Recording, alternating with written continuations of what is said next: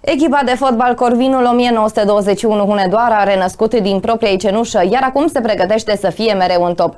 Dar pentru a putea să fie la înălțime și să aducă echipa în Liga a doua, acolo unde își doresc coordonatorii alb-albaștirilor, dar și jucătorii, este nevoie de unele schimbări.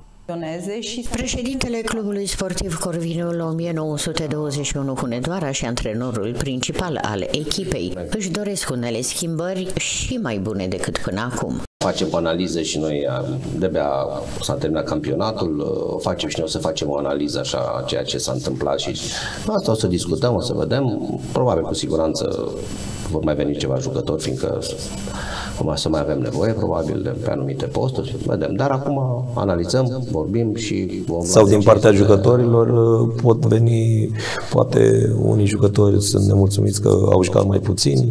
Da. Eu să trebuie să purtăm o discuție cu toată lumea să... Ați simțit, mă gândesc că unii dintre jucători că eu n-am, și-ar dori eu n-am, să n-am simțit, uh, dar... Uh, elibereze vreun loc? sau? Acum, eu n-am simțit. Telefonul meu este deschis, am discutat cu ei. Deocamdată n-am primit niciun telefon. Da, ei știau de la început, de la începutul campionatului, știau. Mi s-a explicat și le-am spus. Scopul scuzelor, mijloacele pe noi interesează să fim o echipă. Cine intră în teren trebuie să dea totul. Că joacă un meci întreg, că joacă mai puțin, că intră din postura de rezervă sau nu, poate să fie titular, poate să fie rezervă, nu există. La noi trebuie toată lumea uh, să fie conectat pentru acel meci. Nu supărat că sunt supărat. Da, e supărat că ai jucat mai puțin, demonstrează și joci mai mult. Asta este ideal.